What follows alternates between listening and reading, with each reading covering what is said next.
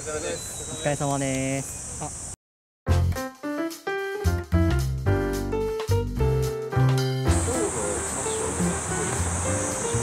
え？真っ黒です。真っ黒です。真っ黒です。でこの靴は誕生日の時に妻から買ってもらってあなんかプレゼントで、はい、いただいた靴でで僕が好きなマルジェラっていうブランドが好きなんで、今その靴をもらったのと上も上もそうですね。はいはジャイの大きい。のロゴとプラスプラダです。プラダも最近ちょっとハマってて。でもあんま持ってないですそんな。はい。た多分これはもうほぼほぼ毎日。あ練習の時は。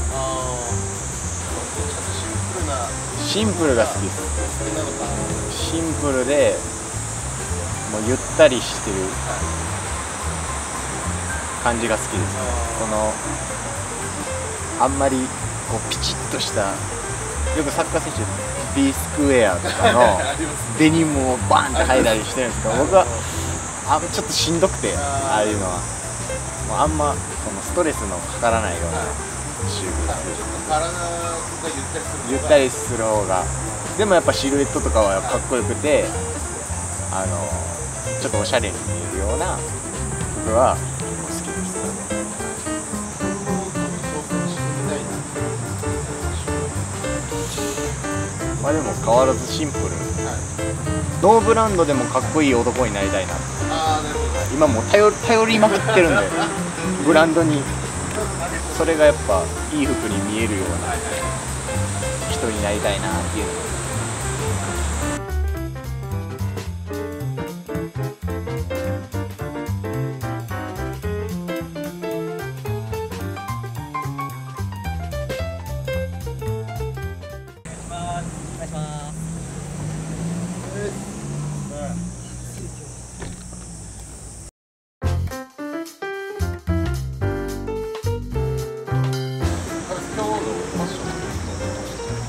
あの基本的にあのヴィンテージが好きで、あのいつもこういうヴィンテージ系のを着てるんですけど、まあ、その中でももう暑いので、あのただの半袖じゃあのおしゃれはならないので、まあ、シャツとか着たりとか、まあ、冬とかは結構ライダースとか結構バイカー系のヴィンテージが多いかなっていうのがあります。はい。あそうですね。基本的に古着屋あの行きつけの古着屋があるのでそこであの買ったりしてます暑い。はい。あそうです。ここはもうあの痩せ我慢っていうか。ここはまあ僕フのそうですね、まあ、我慢しないといけない時がいっぱいあるんですけど、まあ、ブーツとかもそうですしあの我慢はつきものです。はい。なんか人と違うものを着たいと思ってやっぱこう重なるじゃないですかどのブランド着てるでやっぱり古着好きなサッカー選手ってほぼあの聞いたことなかったのであのそっち路線行ってまあちょっと着てみようと思ったらあのハマってしまってそれがきっかけです。周りの選手とか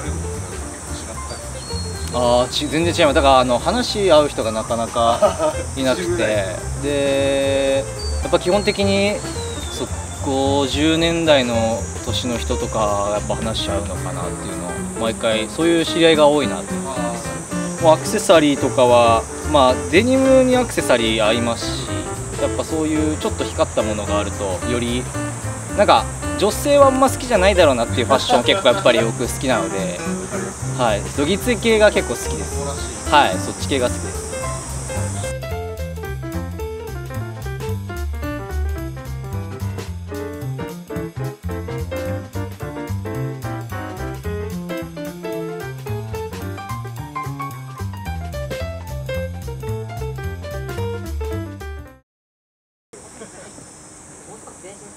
はい、ありがとうございま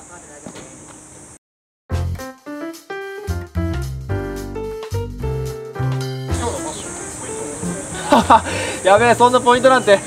なんだろうな。まあじゃあ暑いんで、はい。もう半ズボンで、で僕最近まで結構短い靴下履いてたんですけど、はい。ちょっと今は長いのにしてなんか最近入るじゃないですか。長い靴下履いて。上は日焼けしたくないんで長袖着てます。ただちょっと僕の好きなブランドどはい2つ。はいこの後はもうプーマさん履いて。あなるほど。これごめんなさい。下は？はい。これ下縁の井っていう縁の井はいはいはいはい。なんですけどこれちたまたま抽選で当たって。あそうなんですか。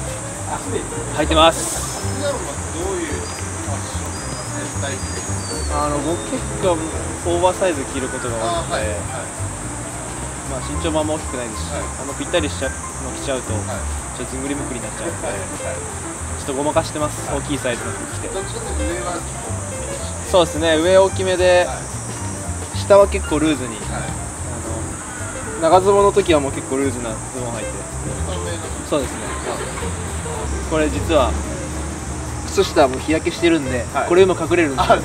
はい、サッカー選手ちょっとやっぱ日焼けここだけしちゃったりとかまあここまでの人とかもいるんですけど、僕ここまでなんで日焼け止め塗ってもさすがにこれだけはもう無理でっていうのもあってちょっと隠してます今は。